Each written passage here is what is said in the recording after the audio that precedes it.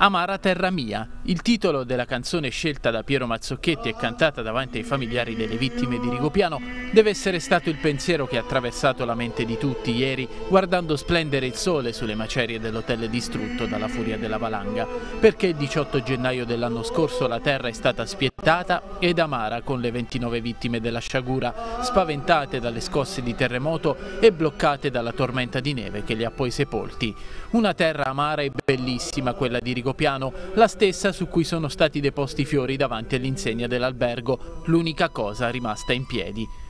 La stessa in cui, a penne però, sono state messe a dimora 29 piantine, una per ogni vittima, lecci che un giorno saranno alberi a futura memoria. L'Abruzzo con la A maiuscola non può dimenticare, lo sa il Comitato Vittime di Rigopiano che sempre ieri per bocca del suo portavoce Gianluca Tanda, che abruzzese non era e non è, ma lo è diventato, ha ringraziato tutta la regione, quella con la R minuscola per l'affetto dimostrato, perché quella di ieri è stata una cerimonia senza o quasi la politica e le sue parole, ed è sicuramente stato meglio così.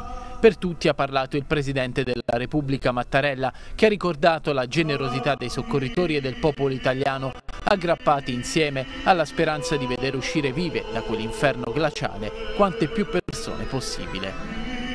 Anche ieri, nella giornata del ricordo, su tutte le parole più o meno scontate è gravato il peso dell'inchiesta in corso da parte della Procura di Pescara. I dubbi sulla celerità della catena di comando dei soccorsi, quelli sugli aerei militari che forse potevano tentare di arrivare lì dove altri mezzi non sono riusciti e dove solo sudore, scarponi e sci hanno portato i primi soccorritori. Se così fosse, dice al microfono Rossella, sorella di Roberto Del Rosso, proprietario del resort, il nostro dolore, quello dei familiari, a cui si è unito quello dei semplici cittadini, si tramuterebbe in rabbia. Se questa notizia dovesse risultare vera, cioè niente, il dolore che finora ho contenuto sicuramente diventerebbe rabbia. L'Abruzzo, al di là di tutto e nonostante la terra sia stata amara quel 18 gennaio, non dimentica, non potrà mai farlo.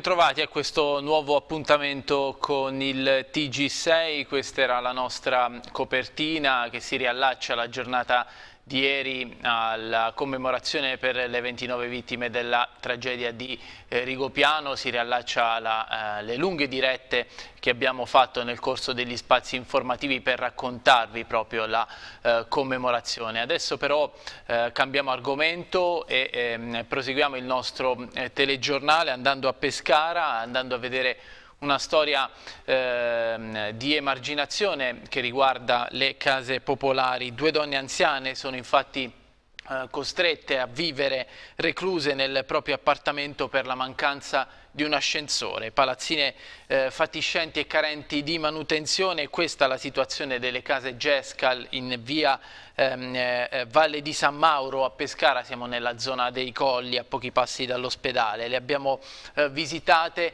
assieme al consigliere regionale del Movimento 5 Stelle Domenico Pettinari, vediamo il servizio. Basterebbe un ascensore per migliorare la vita delle signore Carmina, 78 anni, e Gelsomina, 88 anni, due donne anziane che vivono entrambe al secondo piano del numero 40 di Via Valle di San Mauro, Rione Gescal, nella zona Colli di Pescara. Gelsomina non cammina, vive praticamente segregata in casa.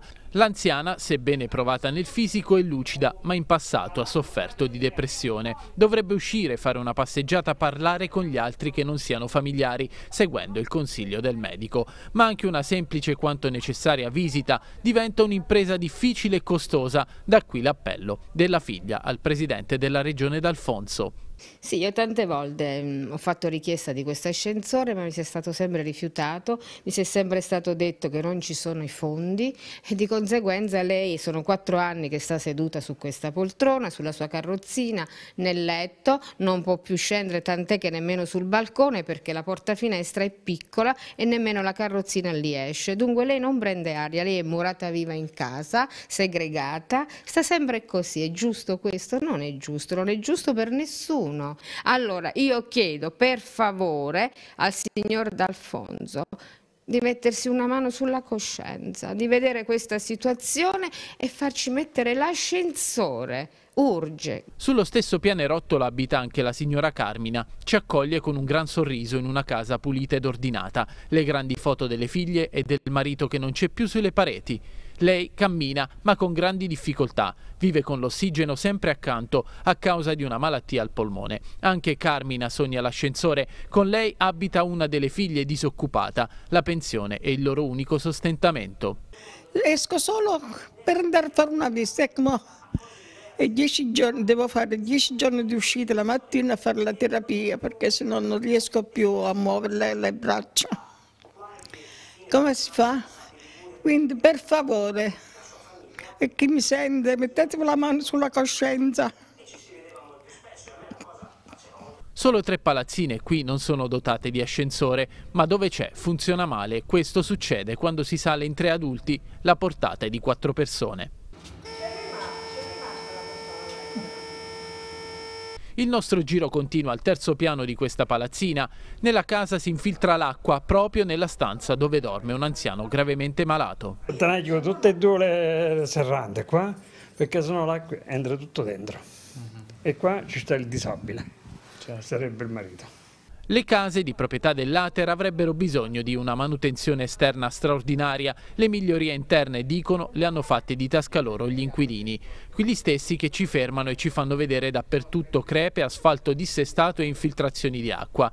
Prima di Natale, ci raccontano i tecnici, hanno fatto un sopralluogo. Li hanno rassicurati, hanno preso nota e sono andati via.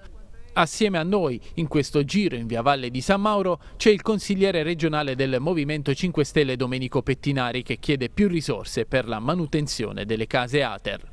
Io chiedo, faccio un appello come fanno anche loro al Presidente di Regione di mettersi veramente la mano sulla coscienza e di stanziare immediatamente risorse per eh, installare degli ascensori, per ridare dignità a queste persone.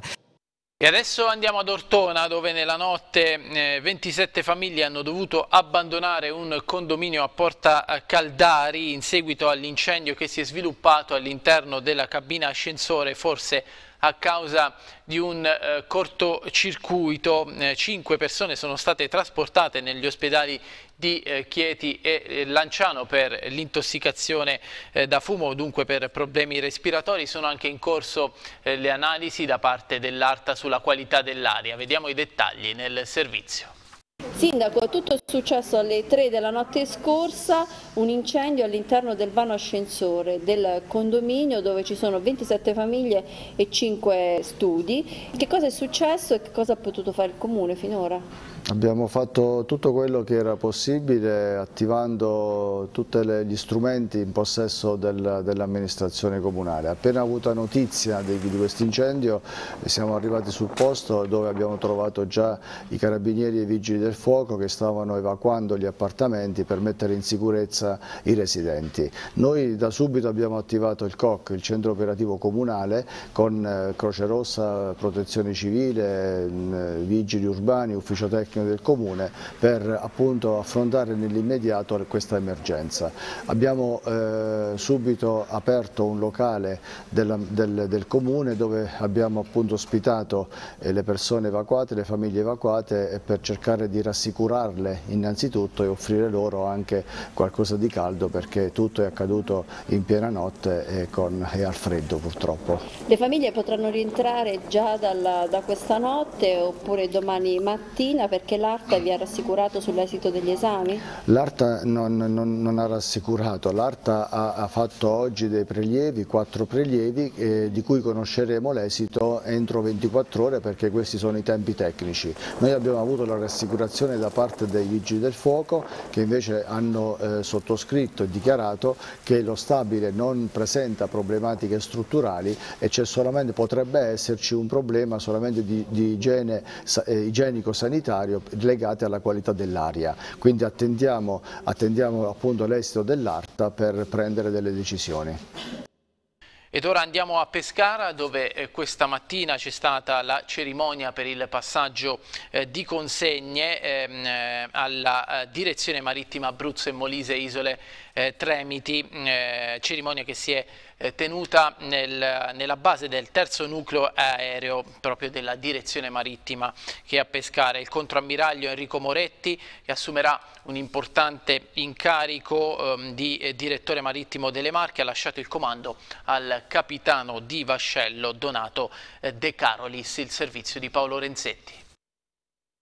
Io mi ritengo un privilegiato perché amo il mio lavoro e continuo ad amarlo con la stessa intensità che avevo quando l'ho iniziato a fare. E sono ulteriormente privilegiato perché eh, ho fatto il direttore marittimo nella mia terra d'adozione, l'Abruzzo, nella quale tornerò quando andrò in pensione, quando appenderò eh, le stellette al chiodo, anche se resteranno tatuate sulla pelle, e lo andrò a fare nelle Marche che è la mia terra natale, quindi mi ritengo veramente privilegiato, mi sono commosso perché, perché è un momento particolare. Lasciare non tanto il lavoro, quanto le esperienze umane che il lavoro ti ha consentito di avere, le esperienze umane vissute con il mio personale che non finirò mai di ringraziare perché non soltanto mi ha seguito eh, ma mi ha anche supportato in tutti i momenti di difficoltà anche personale che ho avuto e le, sapevo che avevo le spalle forti e che potevo, potevo andare avanti perché avevo la loro, la loro spinta e il loro supporto. Allora avevo tutto il mio affetto, il mio ringraziamento e la mia riconoscenza per questa meravigliosa esperienza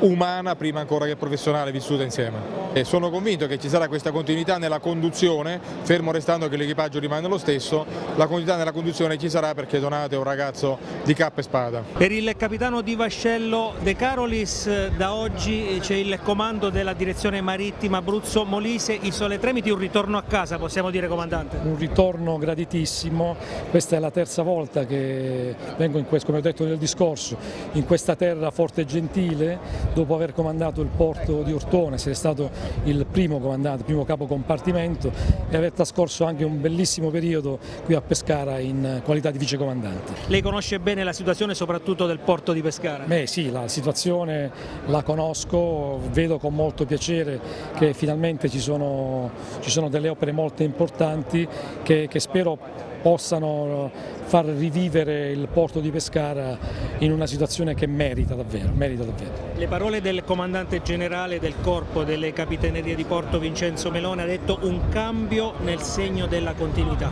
Guardi, deve essere così, eh. io non concepisco, il cambio deve essere nel segno della continuità perché bisogna costruire, mai distruggere, bisogna sempre andare avanti altrimenti c'è una diseconomia, andare indietro significa aver perso qualcosa e non bisogna mai perdere, bisogna sempre andare avanti, quindi la continuità.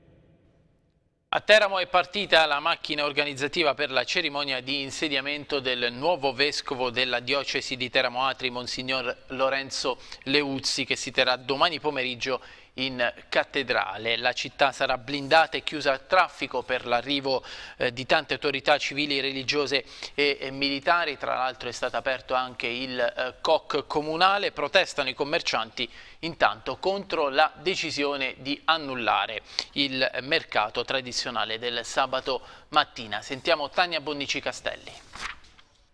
Sarà un arrivo quasi da star, un red carpet immaginario che si snoderà lungo le vie del centro storico. Un evento spettacolare. Il nuovo vescovo di Teramo Atri, Monsignor Lorenzo Leuzzi, farà il suo ingresso trionfale nel capoluogo aprutino nel pomeriggio di sabato 20 gennaio.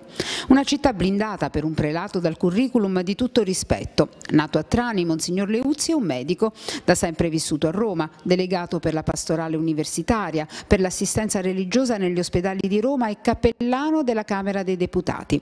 La Prefettura annuncia la presenza di numerose autorità civili, religiose e militari. Si parla della venuta di Gianni Letta in persona e di altri parlamentari che assisteranno all'evento religioso in cattedrale dopo un saluto ufficiale che avverrà in Piazza Martiri. Per l'occasione è stata montata un'imponente tenso struttura riservata a loro. Salta però il mercato del sabato mattina e questa decisione non è piaciuta ai commercianti. Questa cosa è stata decisa eh, qualche mese fa. Purtroppo certamente eh, si poteva dire, prevedere l'arrivo del Vescovo diciamo, di domenica, in maniera tale che una giornata festiva forse ci sarebbe stato anche un movimento diverso. Purtroppo si perde una giornata ma soprattutto la cosa più grave è che non si recupera questa giornata, che poi in effetti è stata chiesta di, farla, di, di fare il mercato la domenica e purtroppo non è stata accettata. Il programma della cerimonia di insediamento del nuovo vescovo di Teramo prevede un incontro con i giovani nella mattinata di sabato al santuario di San Gabriele dell'Addolorata. L'arrivo alle 15 in città al santuario di Madonna delle Grazie dove sarà accolto dai fedeli per proseguire lungo corso Cerulli fino alla chiesa di Sant'Antonio. Dopo il saluto con le autorità in piazza Martiri, Monsignor Leuzzi farà il suo ingresso in cattedrale. Affinché proprio tutti possano seguire l'evento in diretta, sono stati posizionati vari maxi schermi a servizio di cittadini e fedeli. Qualcuno potrebbe dire che i tempi sono cambiati, certo sono passati oltre duemila anni dall'ingresso di Gesù a Gerusalemme seduto su un asinello, sono tempi diversi sì, ma è sempre una festa. Ora ci spostiamo all'Aquila, da qualche giorno è iniziato il trasferimento dei migranti del CAS di Via Roma, eh, struttura gestita dal Movimento Celestiniano. Alcuni dei migranti sono già stati trasferiti in altre sedi, altri invece saranno ricollocati entro la fine del mese a Cese di Preturo, Avezzano e eh, Canistro. Sentiamo il servizio della redazione aquilana è iniziato il trasferimento dei migranti richiedenti asilo ospitati nel CAS di Via Roma all'Aquila. Entro il 31 gennaio tutti gli 87 ragazzi attualmente residenti nella struttura gestita dalla Onlus Movimento Celestiniano dovranno essere ricollocati in altri centri di accoglienza. Il trasferimento è un atto dovuto in seguito all'esclusione del movimento al bando indetto dalla Prefettura dell'Aquila per l'affidamento del servizio di accoglienza dei cittadini stranieri. Tuttavia, tempi e modi nello spostamento sono stati stabiliti dalla Prefettura e non in maniera coatta, ma proprio in collaborazione con la Ollus. Per facilitare le operazioni e rendere il trasloco il meno traumatico possibile, i migranti sono stati suddivisi in quattro gruppi, ciascuno dei quali è stato formato in base ad alcuni criteri, come ad esempio quello della nazionalità, oppure i rapporti di amicizia nati in questo periodo di permanenza. Mercoledì 17 il prossimo gruppo, composto da una ventina di persone, ha abbandonato via Roma per raggiungere Sulmona. Altri gruppi saranno ricollocati entro la fine del mese a Cese di Preturo, in una nuova struttura aperta da poco, Avezzano e Canistro. Ma c'è anche chi ha manifestato la volontà di rinunciare all'assistenza e di rimanere all'Aquila, pur di non interrompere il percorso di integrazione iniziato. Il centro di accoglienza di Via Roma, tuttavia, non chiuderà il movimento celestiniano ha deciso di tenerlo aperto per continuare a dare un ricovero sicuro proprio ai migranti che hanno rifiutato di essere trasferiti e anche a quelli che hanno perso da qualche tempo l'assistenza e che allora sono senza fissa dimora. Lo scorso ottobre il CAS di Via Roma era finito al centro di alcune polemiche sollevate da un gruppo di residenti del centro storico dell'Aquila capeggiati da Andreina Pellegrini, che ne aveva chiesto la chiusura in quanto fonte di degrado. Il caso era finito anche alla terza commissione nel Consiglio Comunale. Voltiamo pagina, è stata avviata la procedura di licenziamento per 27 dipendenti del Cotir di Vasto, dunque aperta la mobilità per tutti i lavoratori del Consorzio per la divulgazione e la sperimentazione delle tecniche irrigue che la Regione Abruzzo ha messo in liquidazione insieme al Crivea di Miglianico, sopprimendo due centri di ricerca su tre e salvando solo l'ex Crab di Avezzano, nel frattempo trasformato in Crua, cioè centro di ricerca unico d'Abruzzo. Il collegio dei liquidatori ha scritto che la necessità di di cessare l'attività è dettata dalla decisione dei soci di eh, procedere alla liquidazione definitiva del Cotir.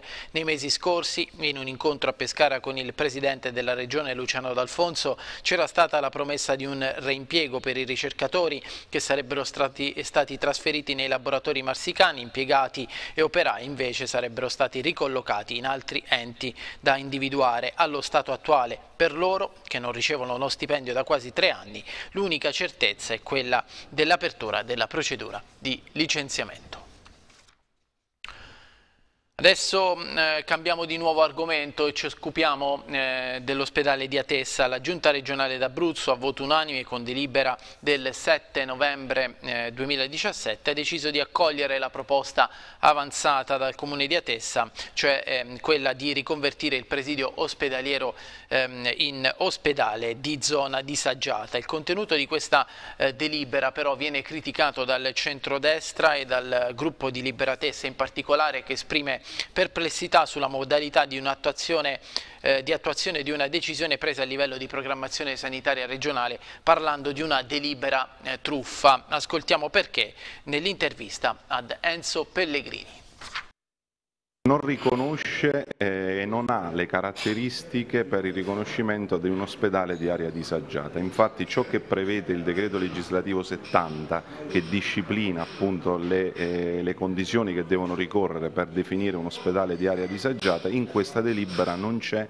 e non c'è nello studio fatto da parte dell'Agenzia Sanitaria Regionale. Quindi è un, è un riconoscimento che non può trovare la nostra approvazione in quanto noi siamo favorevoli al riconoscimento di un ospedale di area disagiata con tutte le caratteristiche che deve, che deve avere un ospedale. Nella sostanza noi vogliamo che nell'ospedale di area disagiata ci venga riconosciuto soprattutto le, eh, un reparto di 20 posti letto di chirurgia e eh, ortopedia che si appoggia al pronto soccorso oltre ad fare tutte le attività in quick surgery e non solo in day surgery così come prevede la, uh, la delibera. Inoltre non vogliamo semplicemente una lungodegenza ma vogliamo ciò che anche in questo caso prevede il decreto 70, un reparto di medicina a tutti gli effetti e con personale che deve essere garantito dagli ospedali eh, vicini, quindi dall'ospedale di Lanciano e dall'ospedale di Vasto. Quindi noi questo, eh, in questo caso, solo in questo caso siamo favorevoli a, eh, potremmo essere contenti di un atto di programmazione eh, che, deve, che dovrebbe, doveva essere fatto in queste condizioni e non come è stato fatto dalla giunta eh, regionale. Quindi le perplessità che esprimevamo quando si è svolto il Consiglio Comunale del 6 novembre dove noi abbiamo votato a favore questa, della proposta del riconoscimento di ospedale di aree risagiate sono venute fuori e sono le perplessità a livello economico e a livello perso di personale che le nostre ASL stanno attraversando. Eh, proseguiamo adesso il nostro giornale con la pagina dello sport. Filippo Falco e Kevin Yanga sono due nuovi giocatori del Pescara. I due calciatori hanno sostenuto questa mattina le eh, visite mediche e poi hanno sottoscritto il contratto con la società biancazzurra. Con il presidente Sebastiani abbiamo parlato di questi nuovi innesti della vicenda Embalo e abbiamo fatto anche il punto della situazione sul mercato con l'intervista di Andrea Costantini. Presidente Sebastiani, il Pescara ha rotto gli indugi tra Embalo e Falco, ormai la strada è segnata, Falco è un giocatore del Pescara. Sì, ma erano i due giocatori che il mister aveva indicato sin da, dall'estate scorsa, eh, o Falco o Embalo, cioè che hanno le caratteristiche per quel tipo di gioco che vuole fare lui. E, chiaramente non c'era una, una, prima scelta eh, perché Falco l'altro anno l'avevamo cercato all'inizio del mercato però il Bologna non si sapeva se lo teneva, se lo mandava via, tant'è vero che poi è andato via l'ultimo giorno e Embalo la stessa cosa, poi è rimasto a Palermo, quindi noi siamo contenti di aver portato questo ragazzo a Pescara perché secondo noi ha le caratteristiche giuste per poter dare una mano a questa squadra in quel, in quel ruolo in particolare. Poi abbiamo fatto anche Yamga che è un giocatore giovane che ha una bella struttura, bella corsa, è un giocatore che può essere importante perché comunque per il tipo di gioco che fa il mister devi avere la coppia in ogni, in ogni ruolo. Ecco, eh, arriva dal Bologna in prestito con un diritto di riscatto fissato a circa 1,3 milioni, Falco. Sì, Falco con un diritto di riscatto di 1,3 milioni e, mentre Yamga è in prestito di 18 mesi con un diritto di riscatto che tra diritto di riscatto e bonus si aggira intorno a un milione. Ecco, Presidente Embolo invece è rimasto prigioniero del Palermo sostanzialmente. Ma eh, io penso che Embalo eh, non sia venuto a Pescara per un motivo molto semplice, perché evidentemente il Palermo ritiene di non dover eh, dare un giocatore importante a una squadra come il Pescara che può essere un antagonista, tutto qui. O evidentemente magari anche il tecnico dare un giovane a Pescara che magari poteva far bene a Pescara non è sempre poi bella, un bel risultato per, per un allenatore. Ecco, a questo punto il mercato in entrata del Pescara è chiuso? Ma noi oggi diciamo che dal punto di vista di quelle che sono le richieste, sono state richieste del mister, siamo a posto però è evidente che siccome questo è un mercato che poi in Italia eh, si, si, riduce sempre tutto all'ultimo giorno, abbiamo anche già le idee nel caso in cui qualcuno eh, dovesse andare via, eh, chiaramente abbiamo i sostituti pronti. Eh, Pettinare tra questi? Nel modo più assoluto ho sentito che abbiamo preso Yanga perché Pettinari è destinato al Chievo nel modo più assoluto. Eh, Pettinari è evidente che ha fatto bene, quindi ha delle attenzioni in questo momento su di lui, però mm, riteniamo che debba fare un girone di ritorno ancora meglio e poi a, a giugno si vedrà. E domani riprende il campionato di Serie B e per il Pescara c'è la trasferta di Foggia. Non convocato Gravillon per mancanza di alcuni documenti non ancora pervenuti dall'Inter. Forfè anche per Zampano, le prese con l'influenza c'è invece Campagnaro. Zeman dovrebbe schierare la squadra messa in campo nell'amichevole contro il Lugano con Crescenzi al posto di Zampano, Unico dubbio il ballottaggio fra Baez e Capone con l'uruguaiano è favori favorito. Questa mh, mm, scelta inciderà anche sulla uh, posizione nel tridente di Mancuso. Questa mattina eh, Zeman ha parlato e si è soffermato sul mercato e su quella che per lui non può essere una gara come tutte le altre, chiaramente per i suoi trascorsi con il eh, Foggia. Ascoltiamo il tecnico del Pescara. Vabbè, è normale, io sono contento di, di, tornare, poi bisogna vedere la partita come va. Sarei più contento se si va a vincere, se si va a fare qualche punto contro una squadra che secondo me è una buona squadra, nel senso che gioca tanto, però c'è qualche amnesia dietro. Hanno fatto qualche acquisto importante vediamo come si inseriscono i nuovi loro. Secondo lei il Foggia può risentire anche negativamente di tutti questi investimenti? Vabbè, uno se lo augura, anche se non credo, nel senso che ha, ha, ha portato i giocatori importanti, lo fa come tutte le squadre cercando di migliorare la squadra. È vero che Foggia ha giocato un calcio che lo giocano in pochi qua, nel senso tanto possesso più, più da Barcellona, però si deve rinforzare dietro e penso che Tonucci e Crankle gli danno aiuto. Vabbè, io spero che non finiamo come abbiamo cominciato, nel senso che eravamo troppi e spero che rimaniamo, anche perché in, questo, in, questa pausa per me si è lavorato bene proprio perché in campo eravamo in 20. Vabbè, sono contento di quelli che sono arrivati.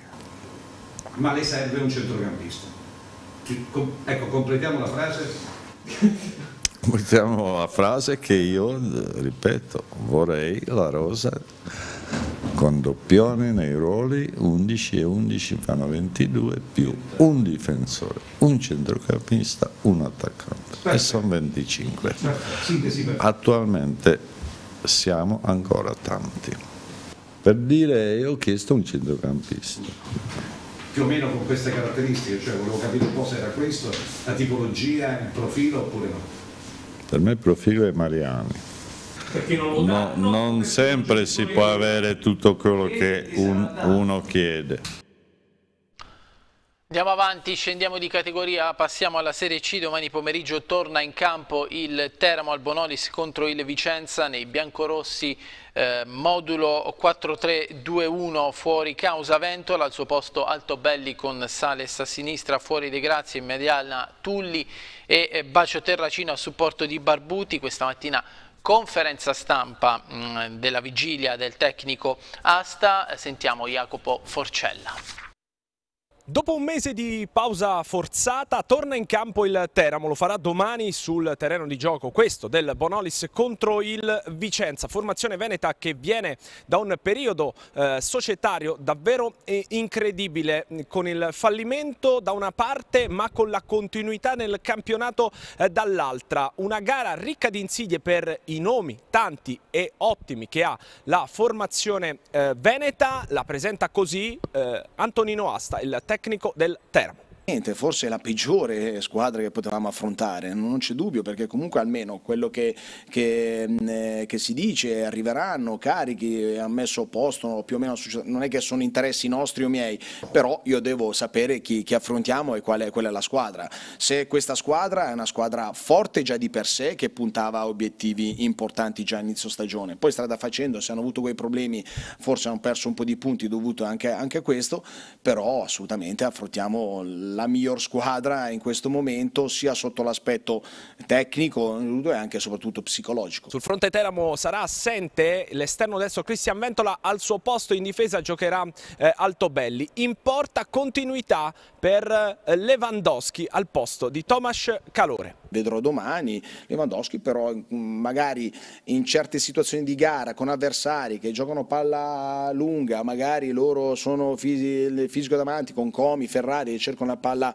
le palle in aria profonde così, lui ha attitudine a uscire un po' di più. Ecco. Ma questo è anche periodo di mercato, è andato via eh, Foggia, ne ha parlato così Asta in conferenza stampa era, era eh, anche una, una, situazione sua, cioè sua, nostra, cioè una situazione mm, è diventata un po' anche per lui cambiare aria, ecco, l'aveva capito anche lui, quindi ultimamente aveva reso meno e tutto.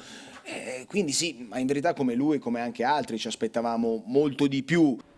Via Foggia, il tecnico biancorosso si aspetta un uomo capace di essere letale nei 16 metri, eh, quelli che servono al Teramo per trovare i gol decisivi alla rincorsa salvezza.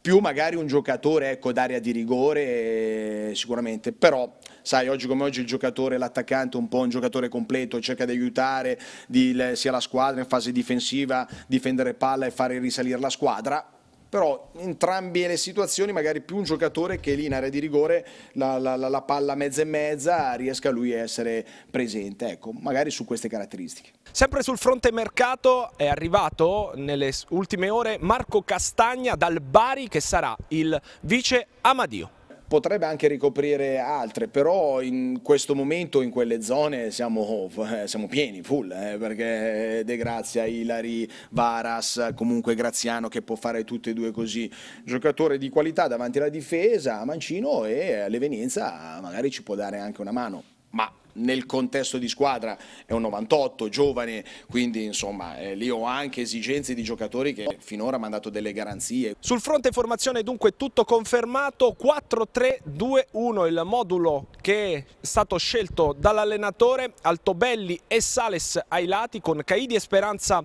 al centro, probabilmente De Grazia fuori, dentro Varas insieme a Ilari e Amadio a centrocampo e poi Bacio Terracino e Tulli a supporto di Riccardo Barbuti. Eh, mi preoccupa tutto, di una squadra importante, di una squadra forte, una squadra eh, che ha qualità, eh, quindi insomma mi preoccupa l'avversario nella sua totalità. Prima di chiudere un avviso di servizio, l'emittente TV6 informa che intende diffondere messaggi politici a pagamento per le elezioni alla Camera dei Deputati e del Senato della Repubblica fissate per il 4 marzo 2018. A tal fine informa che nella propria sede di Silvi, in strada statale Nord 26, al numero mm, telefonico 085 93 0020 è depositato un documento consultabile da eh, chiunque ne abbia interesse concernente il costo per la trasmissione dei messaggi, la collocazione nel palinsesto, gli standard tecnici richiesti e il termine di consegna per il materiale eventualmente autoprodotto. La persona eh, da contattare per ogni eh, informazione è Quintino Pallante. È tutto per questa edizione del TG6, io vi ringrazio per essere stati con noi e vi auguro un buon proseguimento con i nostri programmi. Thank you.